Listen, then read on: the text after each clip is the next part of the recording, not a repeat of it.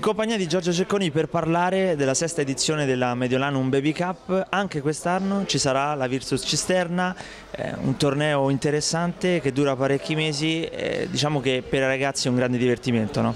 Eh sì, per noi ormai è una tradizione perché abbiamo partecipato a tutte e sei le edizioni con varie categorie, quindi eh, era, era, normale ripartecipare, anche, se, anche perché dobbiamo difendere la, il, il nostro prestigio del titolo vinto l'anno scorso con il 2008, quindi insomma eh, è un nostro onore ripartecipare per cercare di mantenere eh, questo risultato.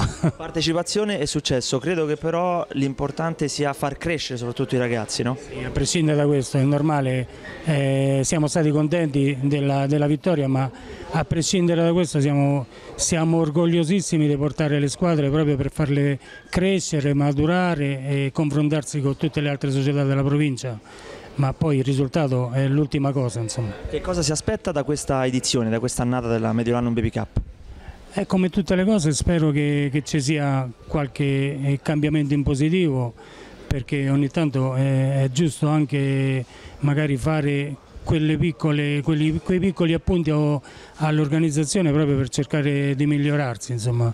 Io già parlavo con, con i responsabili, l'anno scorso c'è stata la, la, situazione per esempio degli orari che ogni tanto uscivamo un po' troppo fuori dalla, dal seminato, tornavamo a casa alle due, due e mezza e, quest'anno spero che perlomeno queste cose cambino un po'. Insomma.